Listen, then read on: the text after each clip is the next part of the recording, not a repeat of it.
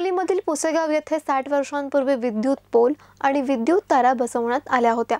मात्र आता हे विद्युत पोल आणि तारा पूर्णपणे जीर्ण झाल्या असल्या कारणाने पुसेगाव येथील जीर्ण झालेले विद्युत पोल आणि विद्युत तारा तात्काळ बदलण्यात याव्यात याकरता सेनगावच्या महावितरण कार्यालयाविरुद्ध स्थानिक ग्रामस्थ आणि प्रहार जनशक्ती पक्षाच्या वतीने अर्धनग्न आंदोलन करण्यात आले. दुपारी बारा वाजण्याच्या सुमारास संबंधित अधिकाऱ्यांनी लेखी पत्र दिल्यानंतर आंदोलन तात्पुरते मागे घेण्यात आले.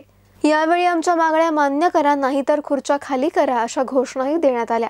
या आंदोलनात प्रहार जनशक्ती पक्षाचे युवा जिल्हा प्रमुख रवी बांगर प्रहार जिल्हा संघटक विलास आघव ग्रामपंचायत सदस्य प्रकाश ठोके भगवान शिनगारे यांच्यासह ग्रामस्थ उपस्थित होते. शेनगाव येथील महावितरण कार्यालय कार्यकारी अभियंता यांच्या कार्यालयाविरोधात मौजे पुशेगाव या ठिकाणच्या विविध मागण्यासंदर्भात आंदोलन करण्यात आहे यामध्ये एकोणीसशे साठच्या नंतर कधीही शे पुशेगाव सह हिंगोली जिल्ह्यातील तारांचा कधी बदलण्यात आले नाहीत.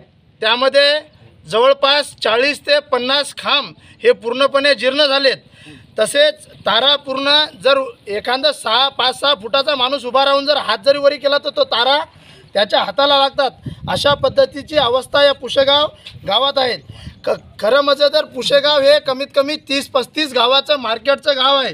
त्याच्यामध्ये मोठ्या प्रमाणावर दळणवळणचं गाव असल्यामुळे मोठ्या प्रमा प्रमाणावर इतरही गावाची वर्दळ या ठिकाणच्या गावात मार्केटमध्ये असते.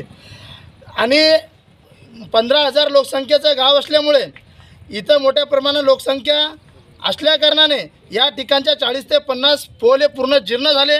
कोण्याही क्षणी जर मोठी वाहतूक आणि वादळ जर आलं तर ते पोल पूर्णपणे पडून किंवा मग एखादी जर ट्रक गाडी किंवा एखाद्या जाते वेळेस एखादा माणूस जर त्या गाडीवर असला ते हात जरी वरी केला तर तो तार लागल्यामुळे अशा विविध कारणामुळे त्या ठिकाणी मोठ्या प्रमाणावर मनुष्यहानी होती.